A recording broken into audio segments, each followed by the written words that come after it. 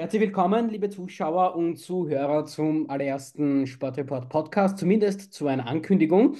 Und mein allererster Gast ist heute Ex-Profiboxer Markus Nader, der am kommenden Samstag bei der Bounce Fights Night diesmal nicht in die Handschuhe, die Boxhandschuhe schlüpfen wird, sondern in die Rolle des äh, Organisators.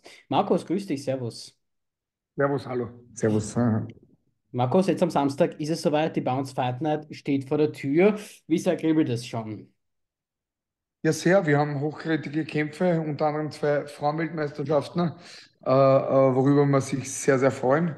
Äh, das Comeback von Fadi Mersa und natürlich unsere Rotdiamanten, äh, der Seon Salami und der Mobin Karase, die zeigen werden, äh, was sie drauf haben. Des Weiteren haben wir beim Olympischen Boxen äh, aus der Schule Bounce zwei hochkarätige Sportler und auch einen Masterboxkampf der ab äh, 40 bis 60 Jahren es erlaubt, äh, Sportler oder, oder Spätentschlossene äh, sich gegeneinander im Boxring zu, zu duellieren.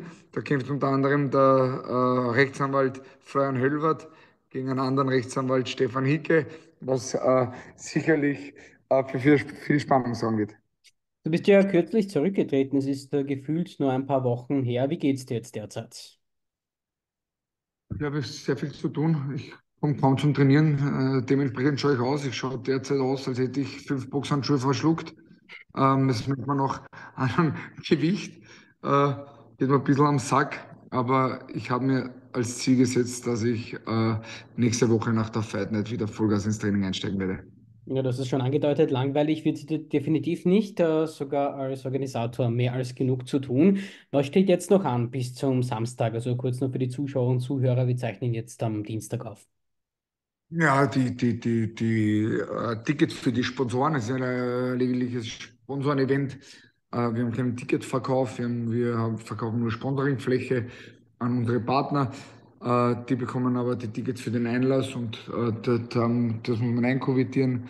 Dann natürlich ein paar Medienanfragen, äh, die wir bearbeiten müssen und, und, und, und ja, auch, auch nutzen. Ähm, und ja, dann geht es eh schon los. Am Freitag sind wir schon im Hotel und Samstag ist die Fight Night.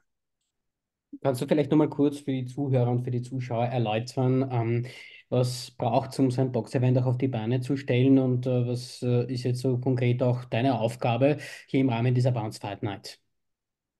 Ja, eigentlich wie alle Fight Nights davor äh, bin ich mit der Organisation gemeinsam mit meinem Bruder zuständig, das Ganze auf die Beine zu stellen. Da geht es einmal darum, dass man äh, Sponsoren fürs, fürs Event gewinnt, worüber ich auch äh, sehr, sehr dankbar bin, weil wir wirklich hochkarätige Partner haben, wie die Braunion, wie Wein und Co., die uns, die unsere Sportler, äh, unsere Gäste mit äh, Getränken versorgen.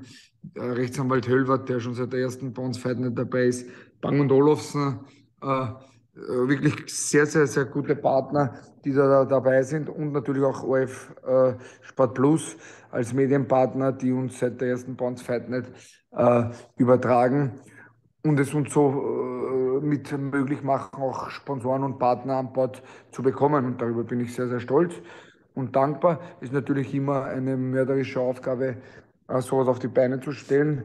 Äh, jetzt, da denke ich mir oft, wie ich das geschafft habe.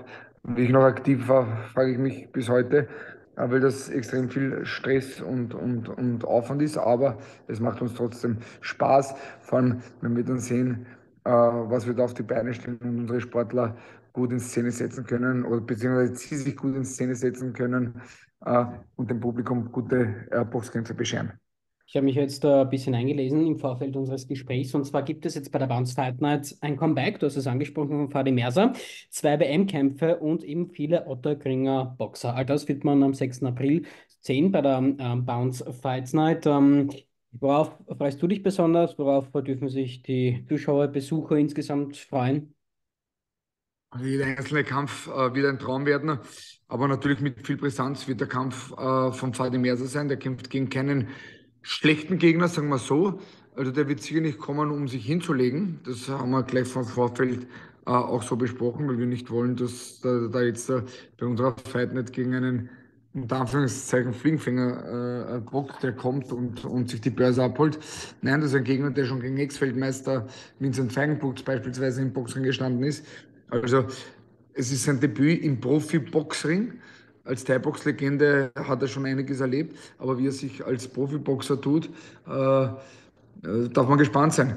Dann natürlich unsere Damen, allen voran als Hauptkämpferin, die Michaela Kotaskova, die ja, äh, ja seit, seit, Anfang an bei uns in Bounce trainiert, die sich mörderisch weiterentwickelt hat äh, und äh, mittlerweile Platz 11 in der unabhängigen Weltrangliste ist. Da darf man gespannt sein, wie sie sich gegen die Argentinierin tut, die im letzten Kampf südamerikanische Meisterin geworden ist und argentinische Meisterin.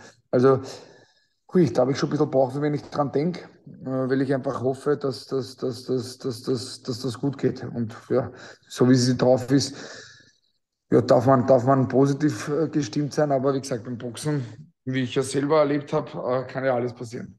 Gut, abschließend noch die letzte Frage, weil wir gesagt haben, es ist eine kleine Ankündigung, weil am Montag, den 8. April, werden wir noch ausführlicher plaudern über die Bounce Fight Night und natürlich auch über deine Karriere und über den Kampf der Kämpfe Mike Tyson gegen Jake Paul. All das dann am 8. April auf Sportreport, auf YouTube und auf allen anderen Kanälen noch. Ähm, sag Markus, wie ist das? Wirst du da jetzt, du bist ja der Organisator bei der Bounce Fight Night, aber wirst du dann auch ein bisschen die Rolle des Mentors, des Coaches auch einnehmen am Ring oder wirst du dich da eher zurückhalten oder da halte ich mich auf jeden Fall zurück. Äh, das Training geben oder die, Sportler zu betreuen, das ist nicht so meins. Ich kümmere mich um, um die Gäste, um die Sponsoren äh, und hoffe, dass die einen schönen Abend machen. Für das andere ist mein Bruder und unser gesamtes Trainerteam äh, zuständig. Ich will da keine tollen Tipps geben. Natürlich kommen die Sportler auch zu mir und fragen mich mit meiner Erfahrung, die ich habe, kann ich ihnen dann natürlich immer wieder ein paar Inputs geben aber auf das soll sich das Trainerteam äh, beschränken und, und, und ihre Arbeit äh, in dem Sinne machen. Gut, dann sage ich vielen Dank, Markus. Ich hoffe, wir haben die Werbetrommel gerührt für den kommenden Samstag. Du hast noch einiges zu tun, deswegen wollen wir dich auch nicht länger aufhalten. Alles Gute, toi, toi, toi, auf das alles gut über die Bühne geht. Wir sehen, hören uns am 8. April und ja, bis dann. Liebe Grüße und Attacke, bitte einschalten, Sport Plus.